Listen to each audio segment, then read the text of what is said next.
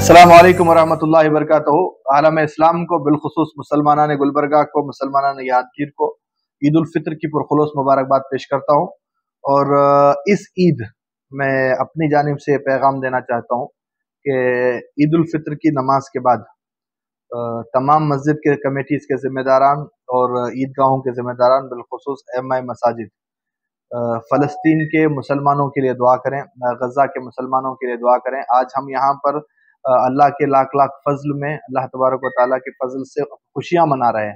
لیکن دنیا کے خطے میں ہماری ہی مائیں، ہماری ہی بہنیں، ہمارے ہی چھوٹے چھوٹے بچے بلک بلک کر مدد کی گہار لگا رہے ہیں اور عالم اسلام کی طرف ان کی دعاؤں کے لیے ایک آزودہ صورت سے دیکھ رہے ہیں۔ میں گزارش کرتا ہوں کہ غزہ کے ان معصوم بچوں کو، ان بہنوں کو، ان ماؤں کو اپنی دعاؤں میں ضرور یاد رکھیں۔